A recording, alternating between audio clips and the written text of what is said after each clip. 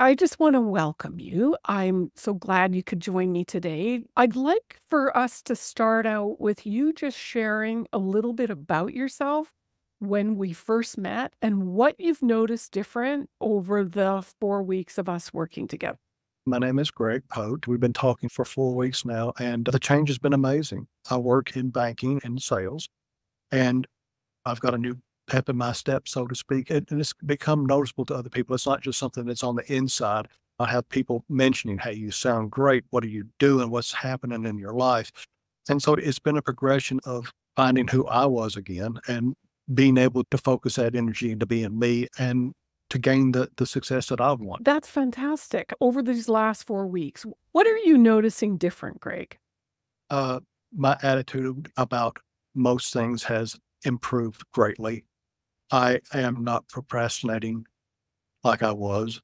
I'm not a Pollyanna. Everything's going to be great every time I talk to somebody, but I'm more willing to move on past the, bad experience. I've had sales calls now where in the past I'd have had the gruff response and I'd have folded up like origami and walked out the door.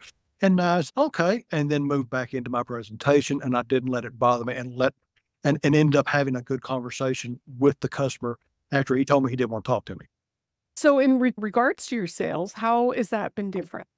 It has been amazing. I was off the first week of July. So, the second week of July was when I started my July. And by the end of that week, I'd hit 60% of my objective for the, for the month. As a matter of fact, when I was talking to my boss the other day, I bumped my objective up another 20% Fantastic. on my own because I'm like, I, I can do this. Before, if I was at 60%, I would have been um, just tickled to death with that month. And now it's okay, let's just start. Now, we've talked about career transition and Mhm. possibilities of making a change. What's happened with that? I had talked to you about moving more into into project management. It was something I had done in a previous job and really enjoyed the the interaction with the whole process. And so I've started looking into getting my project management uh, certificate. In the meantime, I've had a, a company reach out to me who's basically talking to me about a job that really fits exactly into that description. It's a project management job, and it also lets me bring in the experience I've had with the banking because it's part of a banking company. So I get to do what I like and use experience that I've had in the past, and it just come out of the blue. Uh, Yeah, it was great. People think I make this stuff up. Yeah. It's just so much fun. We revamped your resume and revamped your profile. So people aren't understanding that LinkedIn works like a magnet for you when you've got everything lined up. So you're evidence of that taking effect. So I appreciate you sharing that. And, and, and in the- meantime, I've had uh, a recruiter reach out for another banking job locally. It's it went from what am I going to do to okay, which one am I going to pick? And now you get to be in the driver's seat and you get to choose the one that sounds good, aligns with your values, and fills your uh, pockets. I remember in us working together, you shared some experiences where normally would have been catastrophic, and that has changed. Would you mind sharing about that? Let's talk about the barbecue fire because that one was. I, I'm out. I'm smoking a brisket. Here I've got eighty dollars worth of beef on the on on the grill. I've got people coming over, and it catches fire. And a year ago, it would have been an absolute disaster. I would have had a meltdown. My my girlfriend is watching me from the kitchen, and she just knows that I'm going to be Human, pardon the pun. yeah. And after I got everything put out and realized that everything was okay. Actually, I didn't have I didn't have to get the fire extinguisher out and call the neighbors in.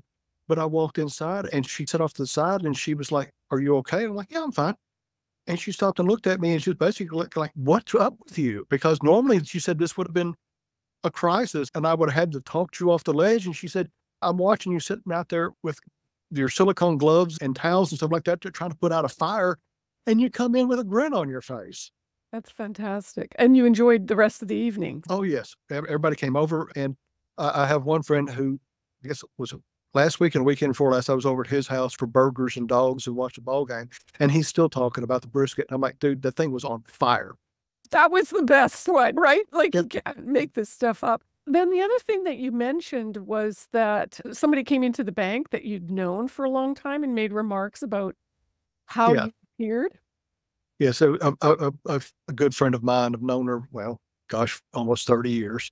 And she stopped in the bank to, to do some business and we spent some time and talking. And one of the first things she said to me, she said, I don't know what you're doing different, but she said, I don't think I've heard you sound this happy in a very long time. And she said, whatever it is, just keep it up. I'm starting to find myself here. I'm happier. I like my job again, but I'm also seeing that I know that, and especially looking over the resume and, and, and I'm looking, I'm like, who is this person? Because my Lord, it just keeps going on and on. I had a friend of mine that was up here from Florida, and that was one of her comments. She said, You sound so good. She said, After the divorce, she was worried about me. She said, I'm not worried about you anymore.